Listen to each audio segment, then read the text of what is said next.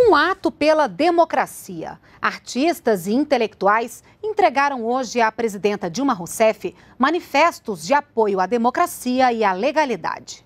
Participaram da cerimônia artistas e intelectuais, entre eles a sambista Beth Carvalho. Ela defendeu as conquistas das minorias. A classe artística aqui representada se levanta na defesa das liberdades individuais, na defesa da Constituição brasileira e principalmente na defesa do amor. O evento no Palácio do Planalto foi um protesto contra o processo de impeachment da presidenta Dilma Rousseff em andamento no Congresso. Professores de universidades federais como Petronília Beatriz Gonçalves e Leonardo Avritzer lembraram que o Brasil já viveu momentos parecidos na história. O Brasil, ele precisou e irá precisar muito da sua democracia.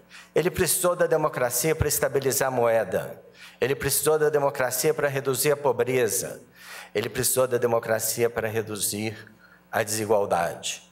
Hoje, a democracia está sendo subvertida, para desestabilizar um presidente eleito e para satisfazer atores do mercado financeiro e daqueles que não sabem ganhar eleições. O governo da presidenta Dilma tem ampliado, criado para reconhecimento e fortalecimento da cidadania da população negra para seu progresso material e intelectual, notadamente, entre outros, com o programa Cotas para Negros Empobrecidos nas Universidades Federais. Em discurso, a atriz Letícia Sabatella lembrou que é preciso ter consciência do que é democracia e que é preciso defender a liberdade. O que a gente está vivendo hoje, essa polarização, esse ódio instaurado, essa sombra coletiva, assolando os corações de irmãos, pessoas que já não estão se reconhecendo. Isso fomentado por um plano maquiavélico de tomada de poder na marra, por pessoas que viram ser mexido muito pouco. O mínimo que foi mexido, estirado, repartido, a gente viu essa grita.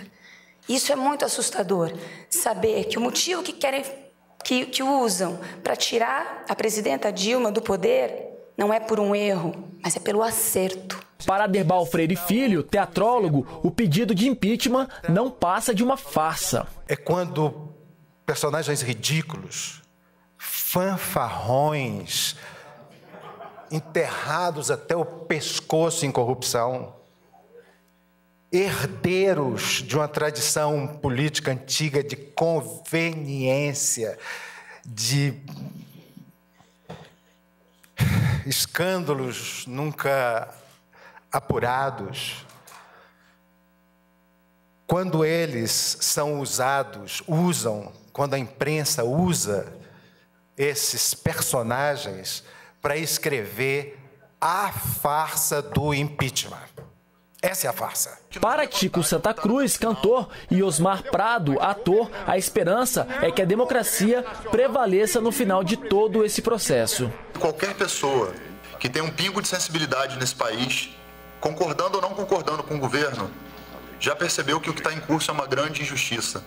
Porque se não existe nenhum crime cometido pela presidenta, fica evidente que o que estão fazendo é um atentado político contra o Estado democrático de direito desse país. É preciso que se tenha serenidade, é preciso que se respeite 54 milhões de votos que esse governo recebeu, que não é pouca coisa, e se o país se dividiu, por que não sentar numa mesa e discutir o país em vez de atropelá-lo? Impeachment, não há razão para isso.